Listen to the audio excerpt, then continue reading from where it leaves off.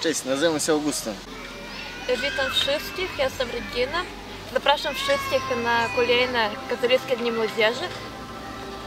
KDM to jest impreza poświęcona dla chrześcijańskiej młodzieży, na której mamy różne konferencje, koncerty, gry i zabawy, ale także czas na skupienie.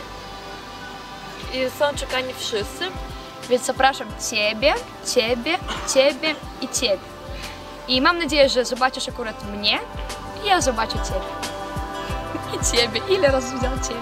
Cztery razy. Tak. Paweł czuł się.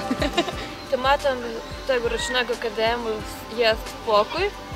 Więc teraz każdy z Was może na swojej karcie kalendarza na te trzy dni napisać KDM, bo każdy z Was już tam pojedzie. Tak, już ma zaplanowane trzy dni swego lata. No to co, widzimy się 21-23 sierpnia w Szumsku. Znów na mnie. Nie, to ja powiedział, później na ciebie sproszę. Jak ty wiesz? Pauza, jeszcze, jeszcze popatrz przez dwie sekundy w kamerę, tak? No to co, widzimy się 21, 20... No to co, widzimy się 21-23 sierpnia w Szumsku.